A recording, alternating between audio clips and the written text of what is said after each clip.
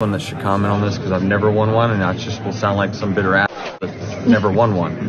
but I just, I'm telling you, from a pure standpoint, it, it, it needs to have a bigger sample size because I, I can tell you this for a fact. My my mom knew I wasn't going to win the championship in 2020 because she flew on a flight with Coy and said, "Yeah, we have no chance.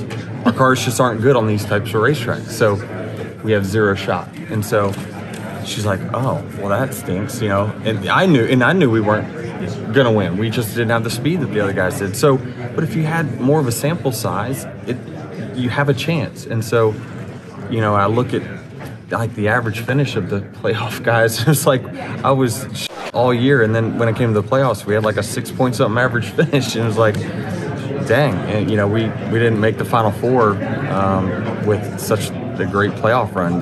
Probably the best playoff run in ten races I've ever had. So.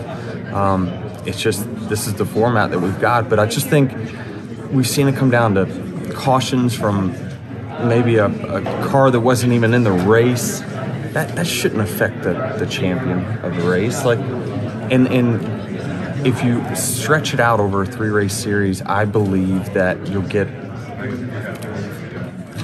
more of the right champion. Not, and that's not. I can't really pinpoint anyone that's not been a deserving champion, but it's just.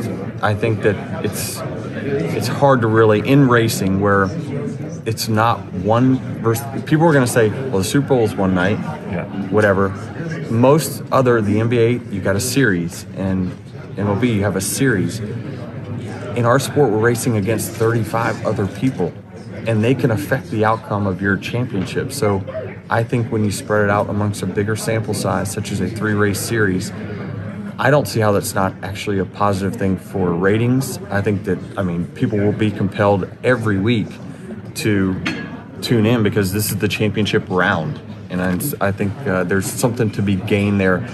I, and I, and I, let's be honest, have we really seen the ratings bump from that one event trying to create this seven game seven moment? I, I don't know that statistics really are backing.